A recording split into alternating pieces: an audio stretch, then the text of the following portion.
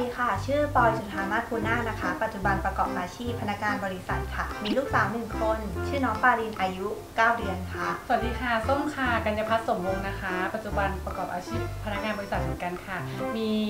ลูกผู้หญิงหนึ่งคน ชื่อน้องอลิสค่ะ อายุประมาณ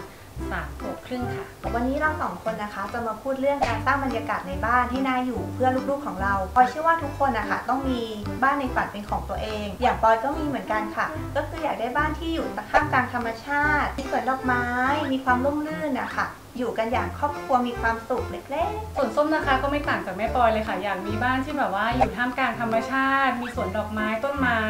แล้วก็มีแบบแอบมีน้ำไหลเบาๆอะไรอย่างนี้ อยากให้ลูกได้อยู่ในอากาศบริสุทธิ์ไม่มีมลภาวะเป็นพิษแบบในเมืองนะคะ ยิ่งทุกวันนี้มลภาวะที่เกิดจากควันเอ่ยโรงงานเอ่ยยังมีเรื่องของฝุ่นแล้วก็ไวรัสเข้ามาอีกน่ากลัวมากๆเลยค่ะๆใช่ค่ะ โดยเฉพาะบ้านที่มีเด็กๆ อย่างเราสองคนนะคะ ต้องมีความระมัดระวังเป็นพิเศษอย่างส้มนะคะ ตอนนี้ก็จะให้ลูกอยู่แต่ในบ้านไม่ค่อยได้ออกไปข้างนอกเลยค่ะ เพราะว่าอากาศข้างนอกไหนจะฝุ่นเอยอะไรเอยน่ากลัวมากเลยค่ะ ก็เลยแบบเริ่มหากิจกรรมให้ลูกอย่างเช่น แบบการปลูกต้นไม้อะไรอย่างเงี้ยค่ะ ปลูกต้นเบญจมาศปูด่างแล้วก็กล้วยไม้ค่ะ ที่จะชวนเขาปลูกเพราะว่าแบบอยากทำกิจกรรมร่วมกัน ต้นไม้ที่เลือกก็จะสร้างอากาศบริสุทธิ์ให้เขาด้วยค่ะ บ้านก็จะน่าอยู่ขึ้นค่ะน่ารักจังเลยค่ะแม่ส้ม อย่างล่าสุดที่บ้านปอยนะคะ ซื้อเครื่องเพิ่มความชื้นในอากาศแบรนด์เพลนมาใช้เพื่อให้น้องอะค่ะ อยากให้น้องหลับสนิทแล้วก็เพิ่มความชื้นในอากาศให้น้องผิวไม่แห้ง แต่พอลองใช้ 2-3 วันมาเนี้ย น้องมีผิวที่ชุ่มชื้นขึ้น นอนหลับสบาย ตื่นมาไม่งอแงด้วยค่ะ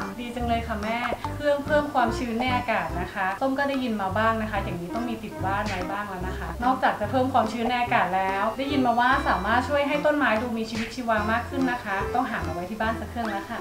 นี่ค่ะปอยยืนยันอีกเสียงหนึ่งนะคะ ตัวเนี้ยใช้ง่ายด้วยค่ะ เวลาถ้าน้ำหมดอะค่ะ เครื่องก็จะตัดอัตโนมัติไอที่พ่นขึ้นมาก็ไม่เป็นอันตรายต่อน้อง จริงค่ะ ทุกวันนี้อากาศดีๆบริสุทธิ์เนี่ยหาไม่ได้ฟรีๆเลยนะคะ ต้องใช้เงินซื้อ ขนาดผู้ใหญ่แบบเรายังได้รับผลกระทบเลยนะคะ ตื่นมายังมีอาการแสบจมูกคอแห้งเลยค่ะ อะไรที่แม่ๆอย่างเราสามารถทำให้ลูกมีความสุขสุขภาพดี แล้วก็พร้อมจะทำให้ลูกนะคะแม่ปอย วันนี้เราก็คุยกันมาพอประมาณแล้ว หวังว่าแม่ๆที่ฟังอยู่จะได้ประโยชน์จากเราสองคนนะคะ ค่ะสำหรับใครที่ชอบคลิปเราสองคนนะคะ สามารถติดตามได้ที่ m o m t e r Channel ค่ะสำหรับวันนี้พวกเราสองคนลาไปก่อนนะคะ Bye.